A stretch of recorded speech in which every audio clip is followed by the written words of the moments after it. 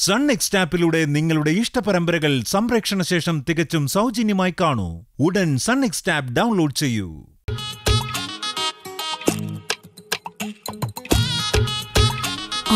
Super ഒരു photo. അഞ്ചു അഞ്ചു ഇനി എന്താ ചെയ്യണം? ഇച്ചി പഞ്ചസാര എത്ര ഇടണ്ടേ? ആ അത് നമ്മൾ ഒരു സ്പൂൺ ഇട്ടല്ലോ. എന്നിട്ട് നമ്മളിങ്ങനെ പയ്യെ ഇങ്ങനെ ഇളക്കി? അപ്പൊ അത് മതിയാവോ? ആ അത് മതി. അത് മതി.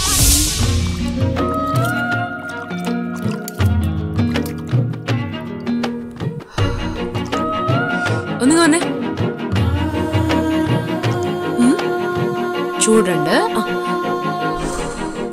മതി മതി കഴിച്ചോക്ക അതെ ഒന്നിങ്ങി വന്നേ. എന്താ? വാ. എന്താടി? സൂപ്പർ ആയിട്ടുണ്ട്. നീ അധികം സന്തോഷിക്കണ്ട. ഇതൊന്നും നിന്റെ ഷെഫിന് ഇഷ്ടായിക്കൊള്ളണമെന്നില്ല. പിടിക്ക്. കൊടുത്തു നോക്ക്. എന്തായാലും കൊള്ളില്ല എന്ന് പറയില്ല.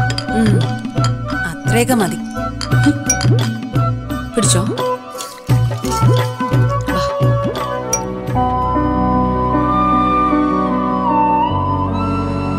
അഞ്ജലിയുടെ ഹസ്ബൻഡിനെ കാണാനില്ലല്ലോ. ആന്റി അഭയ എവിടെ? അഭിയെ ചെന്ന് വിളിക്കേ. നീ ചെന്ന് വിളിക്ക. എനിക്ക് പറ്റില്ല. അഞ്ജലി എന്നെ വന്ന് വിളിക്കട്ടെ. അങ്ങനെയെങ്കിലും അവൾ എന്നോട് സംസാരിക്കുമല്ലോ ചെല്ലടി. നീ ചെന്നാ യൂസ്ലെസ്സിനെ വിളിച്ചുകൊണ്ട് വാ. അഞ്ജലി ഹസിനെ കൂട്ടി വാ. എന്നിട്ട് വേണം കാവ്യയുടെ ഫേവറേറ്റ് പായസം ടേസ്റ്റ് ചെയ്യാൻ. ചെല്ലടി. എല്ലാവരും എന്റെ പായസം ടേസ്റ്റ് ചെയ്യാനുള്ള ത്രില്ല് നിൽക്കുക വേഗം വിളിച്ചോണ്ട് വാ.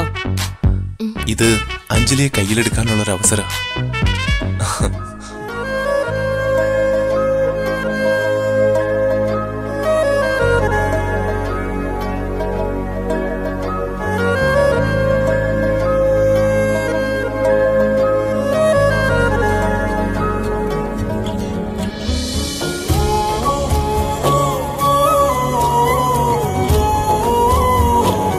എങ്ങനെയെങ്കിലും അവൾക്ക് എന്നോടുള്ള വെറുപ്പ് മാറ്റിയെടുക്കണം. അതിന് ഞാൻ തന്നെ മുൻകൈ എടുത്തില്ലെങ്കിൽ അവൾ എന്നെ വിട്ടു പോവും. അതിനുവേണ്ടി എന്ത് ചീപ്പ് വില ഞാൻ ചെയ്യും.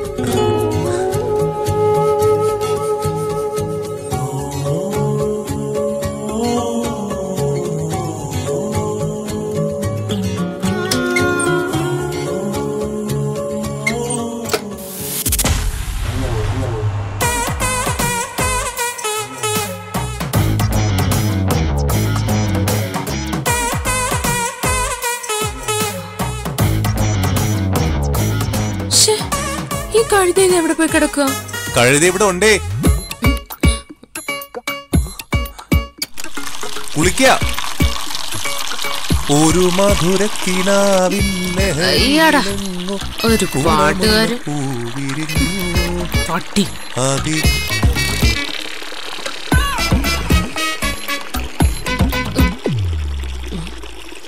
ഞാൻ എന്തിനാ ഇവനെ വിളിച്ചോണ്ട് പോന്നെ എന്താ വിളിക്കാത്ത? എന്നോടുള്ള ദേഷ്യം കൊണ്ടാവും. എന്നാലും നിന്നെ കൊണ്ട് ഞാൻ വിളിപ്പിക്കും. ആ പുറത്താരാ? ഞാൻ വന്നത് അറിഞ്ഞിട്ടുണ്ട്. ആ ആരാന്ന് ചോദിച്ചില്ലേ?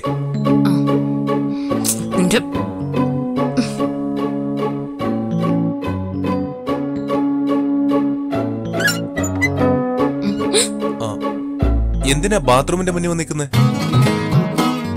താഴെ എല്ലാരും തിരക്കുന്നുണ്ട്. ആരെ? എന്നെയാണോ? പെട്ടെന്ന് ചെല്ലാൻ പറഞ്ഞു. പെട്ടെന്ന് വരാൻ പറ്റില്ല. ഞാൻ ടവൽ എടുക്കാതെ ബാത്റൂമിൽ കയറി അത് എടുത്തു തന്നാ പെട്ടെന്ന് റെഡിയാവാ ഒന്ന് എടുത്തു തരൂ. നോക്കി പിടിപ്പിക്കണ്ട. താഴെ ചെന്ന് ആരോടെങ്കിലും പറഞ്ഞാ അവരും ഒന്ന് എടുത്തു തരും. ആരോടെങ്കിലും ചെന്ന് പറ പുറത്തിറങ്ങാൻ പറ്റാത്തോണ്ടല്ലേ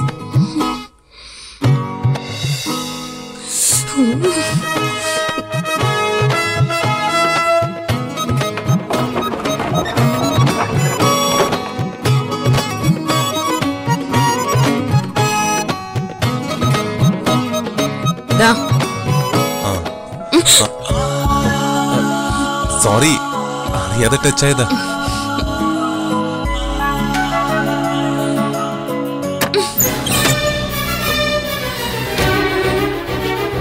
ചതിയനാ കൊള്ളൻ ആക്ച്വലി ഞാൻ? മിണ്ടിപ്പോരുത്. നിന്റെ മനസ്സിലും നാവിലും എല്ലാം വിഷമാ നിന്നെ വിളിച്ച് താഴേക്ക് ചെല്ലാൻ പറഞ്ഞപ്പോ ആ ഗസ്റ്റിന്റെ മുന്നിൽ നിന്നോട്ടുള്ള പക കാണിക്കേണ്ടെന്ന് വെച്ചിട്ടാ ഞാൻ നിന്നെ വിളിക്കാൻ വന്നത്. സോറി അഞ്ജലി. നമുക്ക് താഴേക്ക് പോ. ഇല്ല. നീ ചെല്ല. നിന്റെ കൂടെ വന്ന് നിൽക്കുന്നത് തന്നെ എനിക്ക് അപമാനോ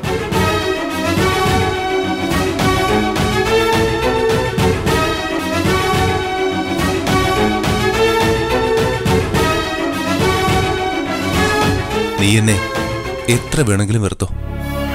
എന്നാലും നീ എന്നെ ഇഷ്ടപ്പെടുന്നവരെ ഞാൻ ക്ഷമിച്ചു നിൽക്കും. അതിനുവേണ്ടി എന്ത് വേഷവും കിട്ടും.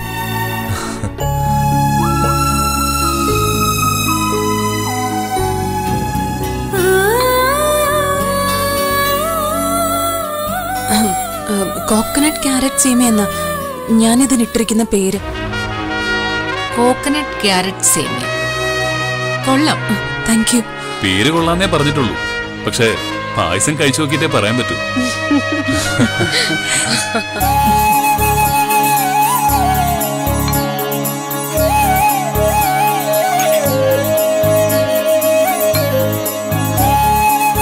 ഇവൾക്ക് പായസമൊക്കെ ഉണ്ടാക്കാൻ അറിയോ? കഴിച്ചിട്ട് പറയാം. ഇതും എന്റെ ഒരു എക്സ്പെരിമെന്റാ ചിലർക്ക് ഇഷ്ടപ്പെടാം ഇഷ്ടപ്പെടാതിരിക്കാം.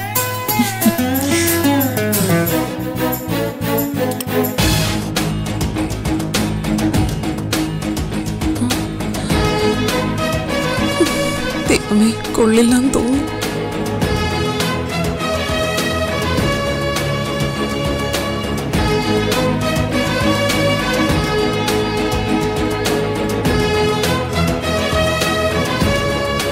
കാവ്യെ പറ്റി പറഞ്ഞപ്പോ ഞാൻ ഒരുപാട് എക്സ്പെക്ട് ചെയ്തു. പക്ഷേ ആന്റിയുടെ മരുമകൾ ഞാൻ പ്രതീക്ഷിച്ചതിൽ ഒരുപാട് മുകളില. സേമിയ കൊണ്ട് ഇങ്ങനൊരു സ്വീറ്റ് ഞാനിതൊരു ടേസ്റ്റ് ചെയ്തിട്ടേ ഇല്ല. Done super variety. Thank you aunty എല്ലാരും അടുത്ത് ടേസ്റ്റ് ചെയ്യും.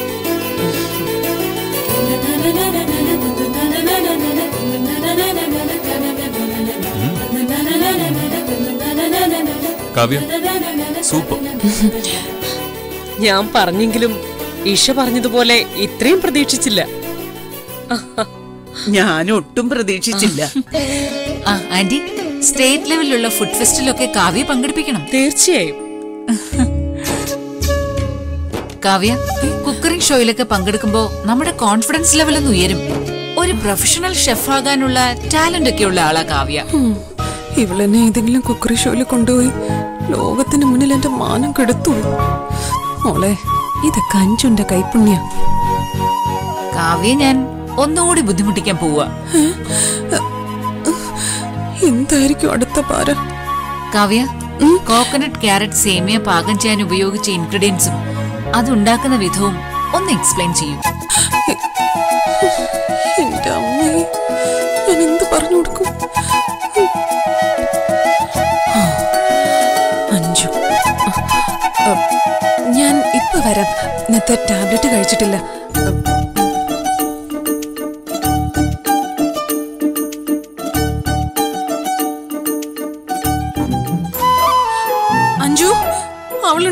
അവളുണ്ടല്ലോ പറ്റി അവൾ എന്നെ ഇവിടെ നിന്ന് നാട്ടിച്ചിട്ടേ പോകത്തുള്ളൂ. എന്തു പറ്റി? അവക്ക് ഞാൻ പായസം ഉണ്ടാക്കിയ രീതി പറഞ്ഞു കൊടുക്കണോന്ന്. ഞാൻ എന്ത് മണ്ണാൻ കട്ടിയാ പറഞ്ഞു കൊടുക്കണ്ടേ? അവളത് കേക്കാൻ നിൽക്കുക അവിടെ. അതിനിടയിൽ അവൾ അറിയാതെ ഓടി വന്നതാ ഇങ്ങോട്ട്. നീ ഒന്ന് പറഞ്ഞേ. ഞാനത് മനപ്പാടമാക്കിയിട്ട് പോയി പറഞ്ഞോളാം. വേഗം പറ. ഞാൻ പറഞ്ഞ നിനക്കത് തെറ്റാതെ അവിടെ പോയി പറയാൻ പറ്റുമോ ആ അവളത് കേട്ടേ പോവൂ. അതുകൊണ്ട് ഞാനത് ട്രൈ ചെയ്ത് നോക്കാം. തെറ്റിപ്പോയാ മാനം പോവും. എന്ത് വന്നാലും വേണ്ടില്ല. നീ പറ. പെട്ടെന്ന് അങ്ങോട്ട് ചെന്നില്ലെങ്കിലേ എന്നെ തെരഞ്ഞപ്പോ ഇങ്ങോട്ട് വരും. പറ അഞ്ജു. നമ്മളിപ്പോ ഉണ്ടാക്കിയത് തേങ്ങാപ്പാലും സാദാ പാലും ക്യാരറ്റും ചേർത്ത് സേമിയ പായസം? ഓ അതൊക്കെ എനിക്കറിയാം. നീ അത് പാചകം ചെയ്ത രീതിയും അതിന് വേണ്ട ഇൻഗ്രീഡിയൻസും പറഞ്ഞതാ. അതായത് കോക്കനട്ട് ക്യാരറ്റ് സേമിയ പായസം ഉണ്ടാക്കാൻ വേണ്ടത്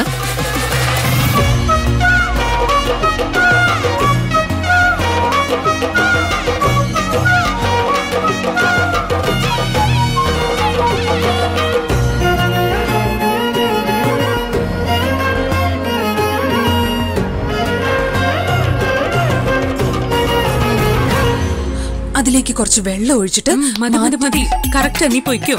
ഉറപ്പാണല്ലോ? പൊക്കോട്ടെ. പൊയ്ക്കോ. ഒന്നാം പാലെടുത്ത് മാറ്റി വെച്ച അതിലേക്ക് അഞ്ചു മൂന്നാമത് എന്താ ചേർക്കണ്ടേ? എടി ക്യാരറ്റ്. ക്യാരറ്റ്. ഇപ്പൊ. ഒന്നാം പാൽ രണ്ടാം പാൽ പിന്നെ ക്യാരറ്റ്. എന്നിട്ട്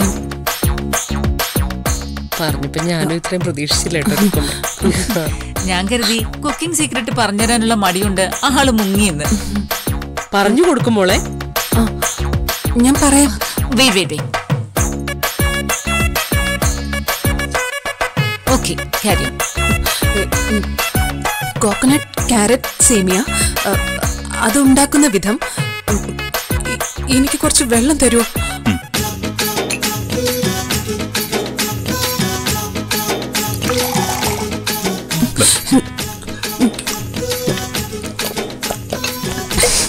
മതിയോ? താങ്ക് യു സോറി ഏട്ടാ. നോ പ്രോബ്ലം ടെൻഷൻ ഇല്ലാതെ പറഞ്ഞോളൂ. ഓക്കെ ഇവളെന്താ കഥാപ്രസംഗം പറയാൻ പോവാ? ആന്റി എന്നെ ഡിസ്റ്റർബ് ചെയ്യാതിരിക്കാൻ പറ. എന്റെ കോൺസെൻട്രേഷൻ പോകുന്നു രുക്കുമെന്ന് ചുമ്മാതിരിക്കേ. ദൈവമേ ഇവക്ക് തെറ്റാതെ പറയാൻ കഴിയണേ.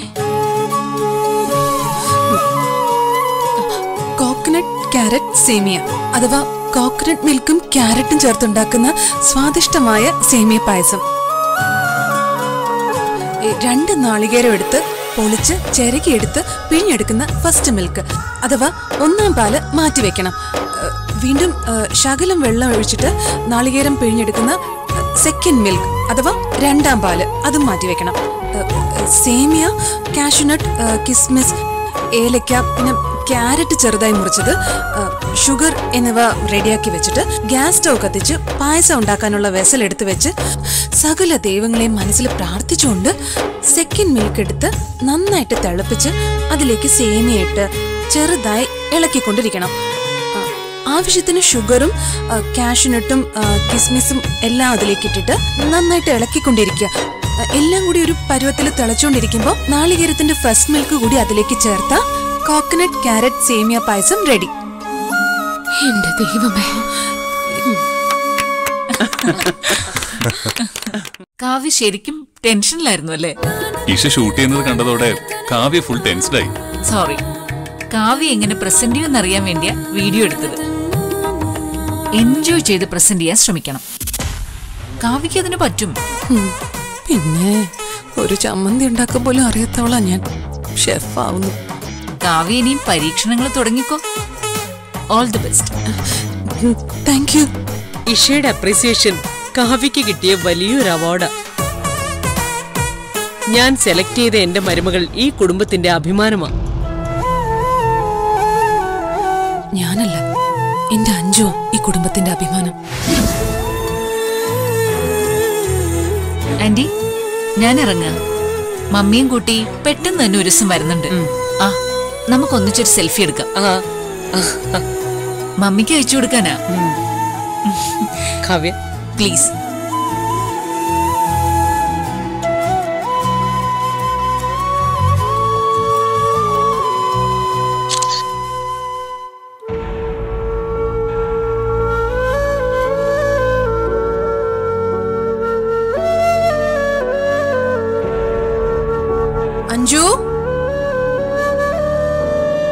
അഞ്ജു? ഇവളിത് എങ്ങോട്ട് പോയി? അഞ്ജു?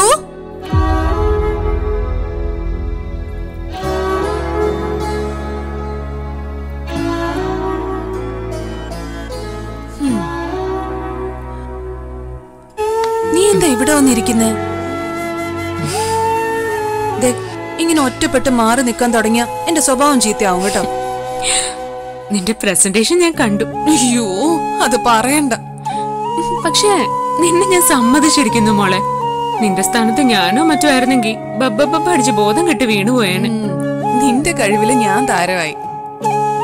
നിനക്ക് കിട്ടേണ്ട അംഗീകാരം ഞാൻ അടിച്ചു മാറ്റിയത്. ഏയ് അങ്ങനെ ഒന്നും പറയല്ലേ. നമ്മൾ ഏതെങ്കിലും കാര്യത്തിൽ ഇന്ന് വരെ എന്തെങ്കിലും കണക്ക് വെച്ചിട്ടുണ്ടോ? ഞാനൊരു അബദ്ധം പറഞ്ഞു പെട്ടുപോയതുകൊണ്ട് ഇങ്ങനെയൊക്കെ ചെയ്യേണ്ടി വന്നത്. ശരിക്കും എന്റെ സ്ഥാനത്ത് നീയായിരുന്നു വേണ്ടിയിരുന്നത്. നീയായിരുന്നെങ്കിൽ നിന്റെ മേലുള്ള ആന്റിയുടെ വിരോധം ആ പായസത്തിൽ ലയിച്ചു പോയാണ്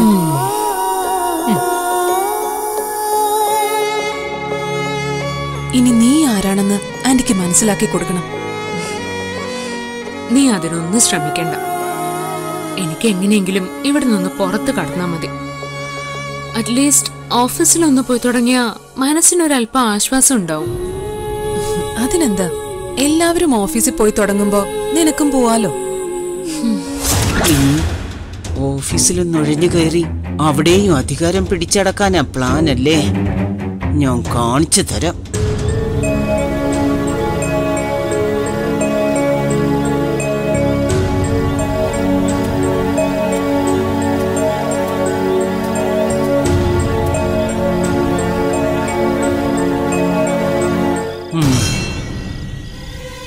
എന്താ റുക്കമ്മേ?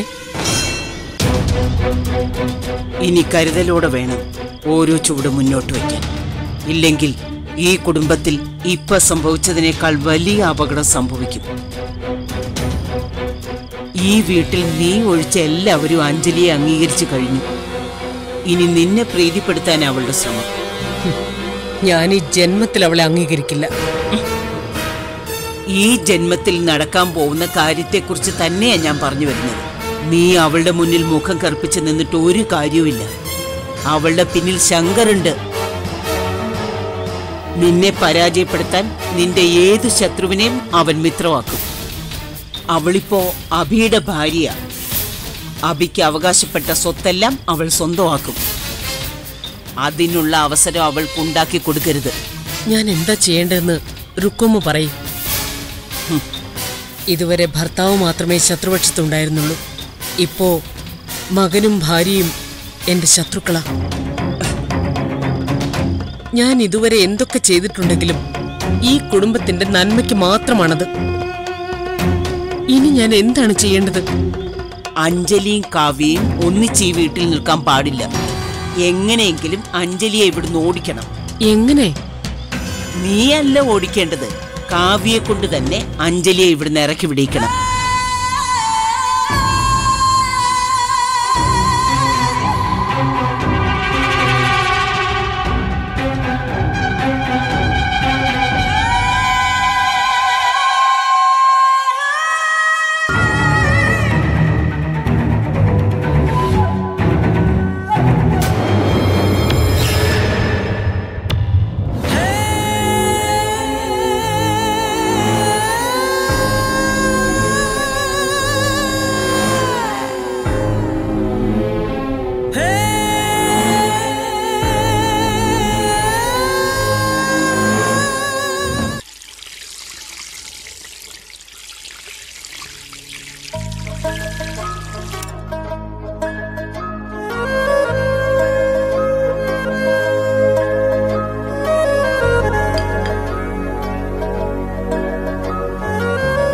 ആദി.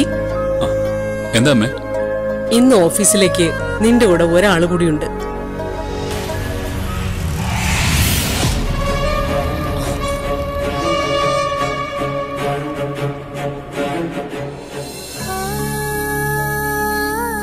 എന്റെ കൂടെ ഒരാളും കൂടെ ഓഫീസിലേക്ക് വരുന്നു അമ്മ പറഞ്ഞപ്പോ അത് അഞ്ജലി ആയിരിക്കുമെന്ന് ഞാൻ വിചാരിച്ചില്ല. ഏയ് ഇവിളിതെങ്ങോട്ടാ?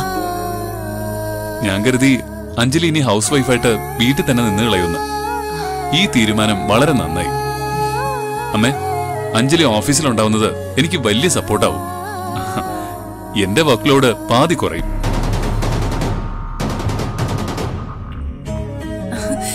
റെഡിയായി ഇറങ്ങിയല്ലേ?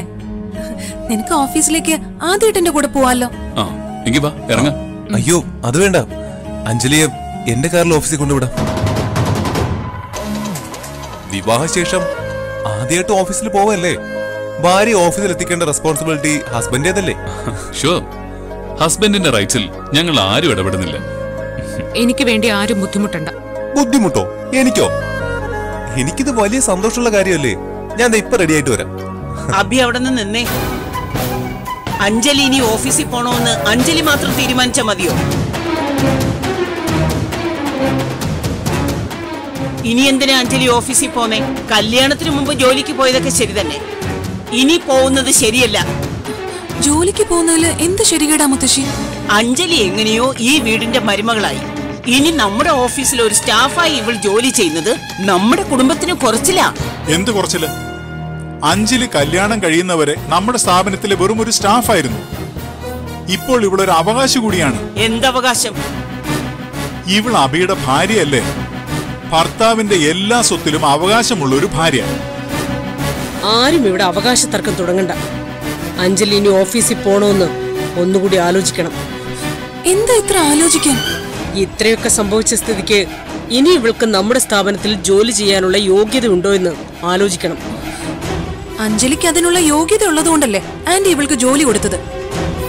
അഭി അബി ഇവളെ കല്യാണം കഴിച്ചതോടെ അവളുടെ എഡ്യൂക്കേഷണൽ ക്വാളിഫിക്കേഷൻസ് എല്ലാം ഇല്ലാതായോ? രുക്കു അമ്മ പറയുന്ന കേട്ട് അമ്മ എന്തിനാ ഇങ്ങനെ ഒരു തീരുമാനം എടുക്കുന്നത്? സുഹാസിനി നീ ഒരു ബിസിനസ് അല്ലേ? പെൺകുട്ടികൾ ബിസിനസ് രംഗത്ത് വളർന്നു വരണമെന്നല്ലേ നീ ആഗ്രഹിക്കേണ്ടത്? പ്രത്യേകിച്ച് നിന്നെ പോലെ ഒരാൾക്ക് പുതിയ ജനറേഷനോട് ഈഗോ ഉണ്ടാവാനേ പാടില്ല. എനിക്ക് ഒരു ഈഗോയും ഇല്ല. വളർന്നു വരുന്ന കുട്ടികളെ പ്രോത്സാഹിപ്പിക്കാൻ ഞാൻ മടി കാണിക്കാറുമില്ല.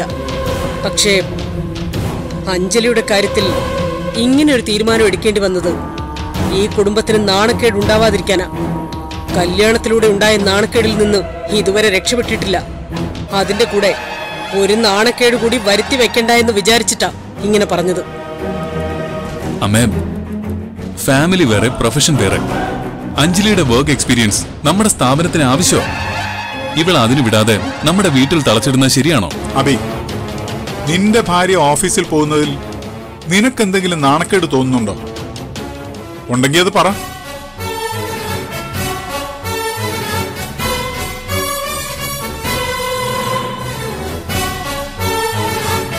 അഞ്ജലി ജോലിക്ക് പോകുന്നതിൽ എനിക്ക് അഭിമാനമേ ഉള്ളൂ.